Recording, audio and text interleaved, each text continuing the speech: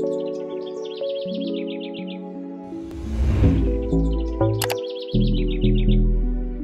guys, welcome to another video. Today's video I am doing my 40 week pregnancy update with baby number four. Um, am I surprised that I'm so pregnant? Not at all. like when they gave me my due date, I added two weeks to it and gave that as my due date because otherwise like I just feel like I'll go a little bit crazy. Um, first and foremost, welcome to today's video. If you're new around here, hi, my name is Jeannine. I'm a stay-at-home mom to almost four girls, and I live in Arizona where it's incredibly hot right now, but I'm cold inside. I'd love to have you join and subscribe. You don't have to, of course, but you're always welcome to. You can also follow me on my Instagram. I'll put it somewhere here. Also, I forgot to mention before I start, I'm sorry if the quality of this video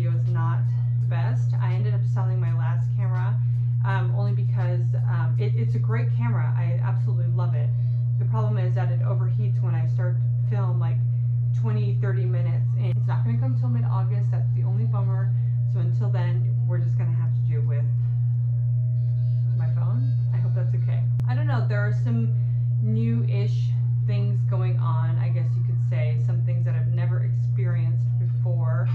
Um, so if most of you don't know, I have never had a hospital birth. I've always given birth naturally, like pain-free, not like vaginally naturally. Um, but you know, medication-free at a birth center in a home with midwives and doulas and all that stuff. This time around is a little bit different because first of all, I live an hour away from that place and now I'm five minutes away from my current hospital, which happens to have a midwife area, which is great because I like how hands off they are. But I am going to be getting induced. Um, my date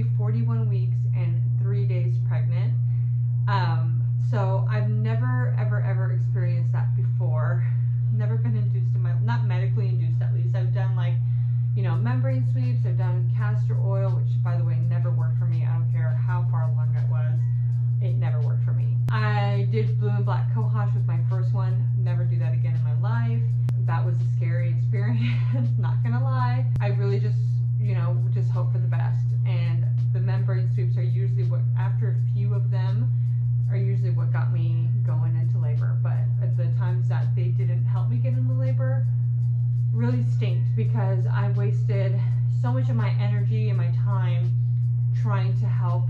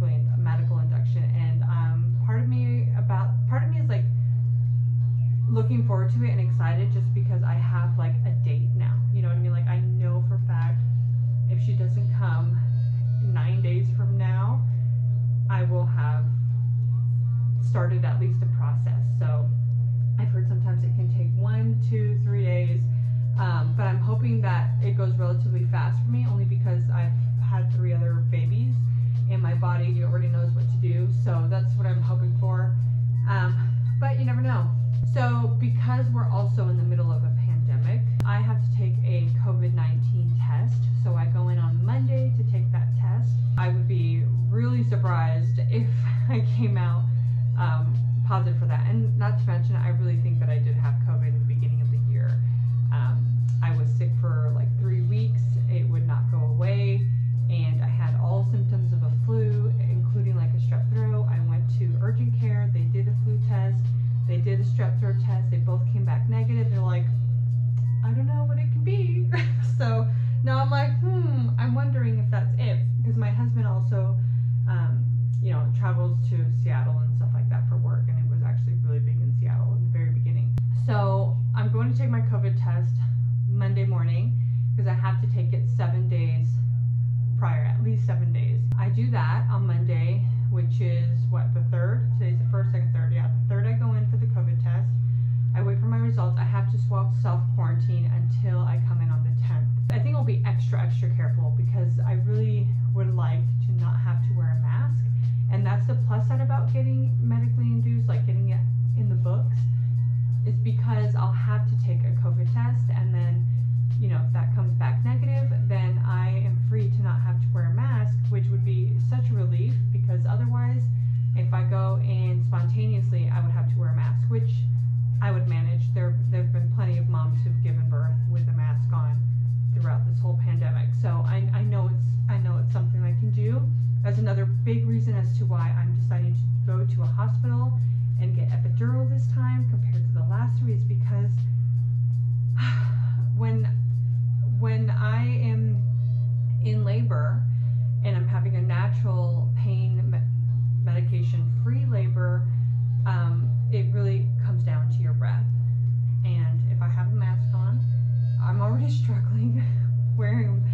wearing a mask and then wearing a mask when I do have to wear a mask it's hard on its own. And then I'm in the middle of summer in Arizona where it's currently like 115 degrees outside and um, it's just a recipe for disaster. So I'm gonna just try to have a pleasant experience and do the epidural. Never had one before so we'll see how it goes.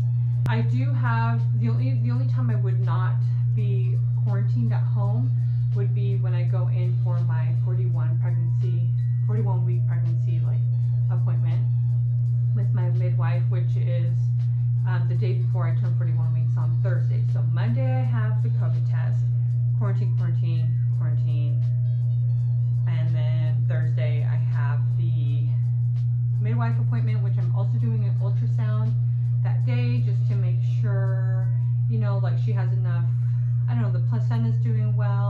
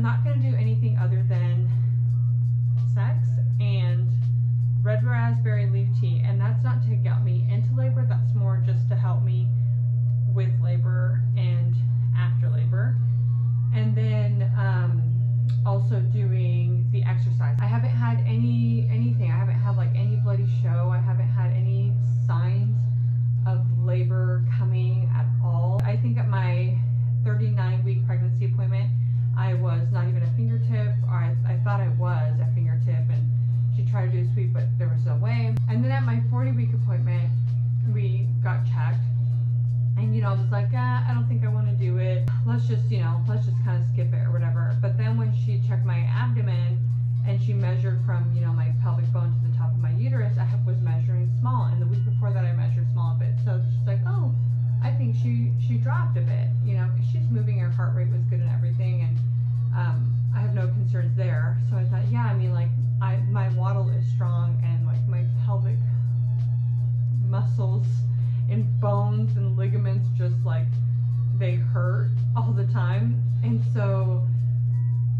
know, I was like, when she said that, when she said that I was measuring even smaller, I thought, oh, well, maybe she's dropped and she's put enough pressure on my cervix and I've, you know, maybe I've thinned out a bit more or maybe I'm even dilated to a centimeter and we can do a membrane sweep.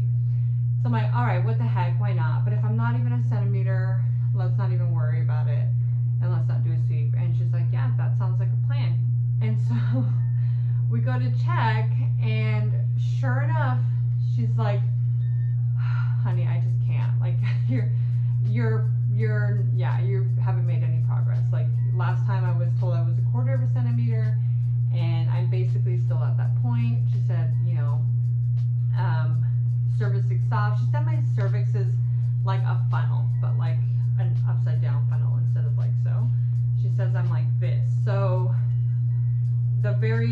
front of my cervix is soft, like it's soft, it's it's good. Um, but once she, you know, she tries to get in there, my cervix is still long. It hasn't shortened at all, so it's still long, and um, which you know isn't a sign of any progress. Once you get to the actual opening of the cervix or the internal os, like she cannot even get her fingertip in there. Like it's just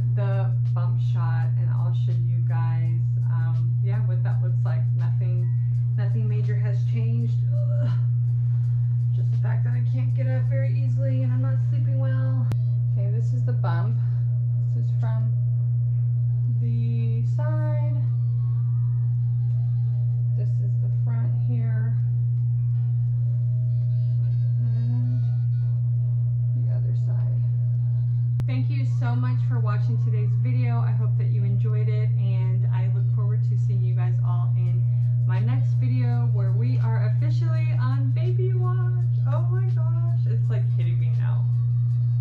Whew. We're gonna have a baby very soon. Okay, I will see you guys all next time. Thanks for watching. Bye.